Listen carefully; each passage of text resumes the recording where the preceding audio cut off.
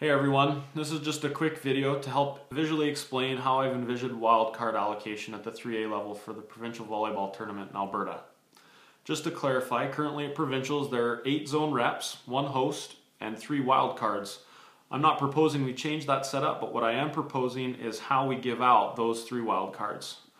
First of all, what I'm going to do is I'm going to present two hypothetical scenarios to help explain this. The first scenario is what I would consider to be the most common. The last ranking list done before zone weekend is the list we would use to allocate wildcards because it would be based on the most data. So here's a hypothetical list given. Um, it's got various teams from various zones. Uh, it would have eight zones um, represented, uh, not on this list. Here there's only six. Uh, zone G and Zone H wouldn't are not are not ranked. Don't have teams that are ranked, but the other zones do have teams that are ranked and are mentioned. Uh, the first thing that we do is we cross off the highest ranked team from each zone. The reason we do that is because these teams would be considered the top teams in their zones and would therefore most likely qualify for provincials by winning their zone and being that zone rep at provincials. So I'm going to cross those teams off right now. So, so those are the highest ranked teams from each zone on that list. They're being crossed off. What we also do is we also cross off the host team because they're given an automatic bid. So if they are found in the provincial rankings, we just cross them off as far as earning wildcards because they're they're already going. So there we go. We should be giving wildcards to zones that have multiple provincially ranked teams. These would be considered the most competitive zones for that year, and those are the zones that should get the wildcards. Now that the top teams in each zone are identified, the three wildcards can be distributed. They are earned by the high, next highest ranked team from a zone starting at the top of the ranking list. So in this scenario, you can see that Zone A has a second team in the ranking list, right here at ranking number three. So this zone would be given the first wild card.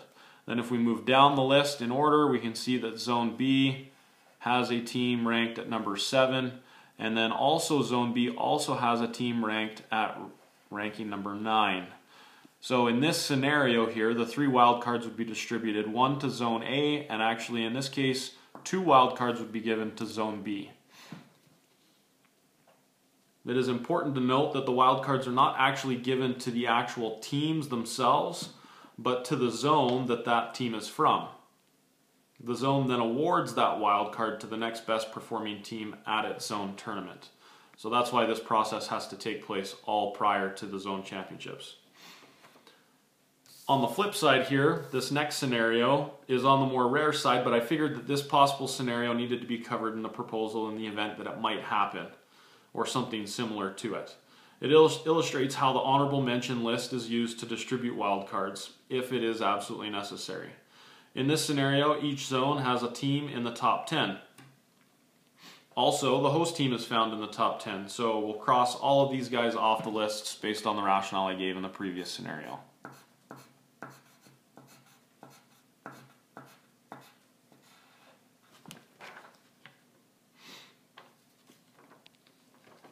You'll notice that Zone B has a second team in the top 10 right here. And so this zone, zone B, would earn that first wild card berth. But now we've run out of teams in the top 10 to allocate, or run out of zones in the top 10 to allocate wild cards to. So what we moved next to is the next best solution, which is the honorable mention list. Um, it begs the question, who gets these wild cards using this list? Looking at the honorable mention list, we can see that there are two teams from zone F that are that are eligible to earn a wild card which is more than Zone C and Zone E. Zone C and Zone E each have just one team. Zone F has two teams. So we give the second wild card to Zone F. Now because the honorable mention list doesn't specify which teams are ranked higher, once a zone has received a wild card berth via the honorable mention list, it is only fair that if there are other wild cards still left to distribute, as there is in this case, there's one left, they're distributed to the other zones that haven't received a wild card yet. In this case, there is a tie between Zone C and Zone E. Each have one team in the honorable mention list. The way the tie is broken, according to my proposal, is that the zone with the highest top 10 ranked team will get the wild card. The reason for this is because when we award wildcards, we want to award the wildcards to the most competitive zones. So according to this, Zone C, because Zone C has a team ranked at number 3, and Zone E has a team ranked at number 5, Zone C would get that third and final wildcard berth. Thanks everybody. I hope this video made things at least a little bit more clear. If you have any feedback or you, you have any comments, you can make comments in the section below or you can send me an email. Uh, thanks everybody.